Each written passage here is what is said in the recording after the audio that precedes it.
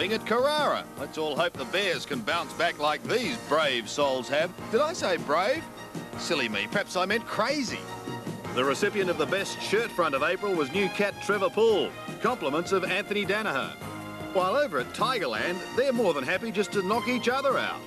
Poor old Carlton hasn't had a good year, and now Jez's three-quarter time address has been cut because he can't get out onto the ground.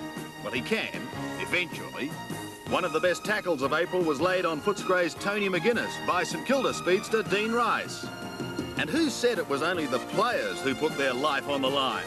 But hang on, Darren Davies, they're your boys.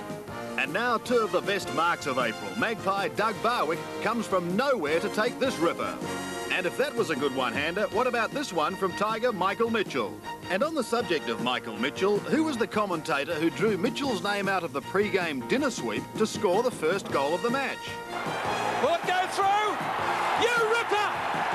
It's a goal! Golly, Peter Landy sure was happy. And on the subject of seven sports reporters, is it any wonder why our own Michael Roberts retired from football? Good one, Reggie. To some of the misses of April, and Demon Brett Lovett missed the ball. Saint Nathan Burke missed the mark, while Blues John Dorotich tried his best, but still missed Michael Gayfer. Luckily for Greg Williams, David Rhys-Jones missed him here, or should it be the other way round? Perhaps Rhys was lucky.